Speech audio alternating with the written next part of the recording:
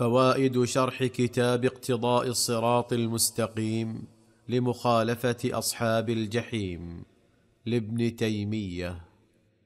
ولهذا لا يجوز لنا أن نعمل أعمال الجاهلية لا في العبادات ولا في, في العادات ولا في التقاليد. ومن ذلك نخوة الجاهلية والتفاخر بالآباء والأجداد أو العصبية القبلية أو الثارات الجاهلية. فالمسلمون إخوة. المسلمون إخوة. وإذا حصل وإذا حصل قتل عدوان فالله شرع القصاص بشروطه وليس هناك ثارات ولا يقتل غير القاتل. نعم. لأن لأن أهل الجاهلية لا يتقيدون بالقاتل بل ربما يتركون القاتل لأنهم يرون أنه لا يستحق القتل لأن قتله ذلة عندهم.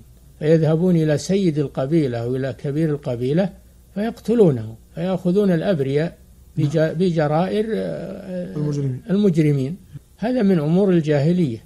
النبي صلى الله عليه وسلم يقول الله جل وعلا يقول ولا تزر وازرة وزر أخرى. والنبي صلى الله عليه وسلم يقول لا يجني جان إلا على نفسه.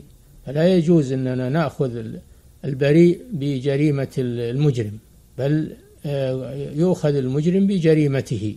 وأما أخذ غير المجرم بجريمة المجرم فهذا من أمور الجاهلية.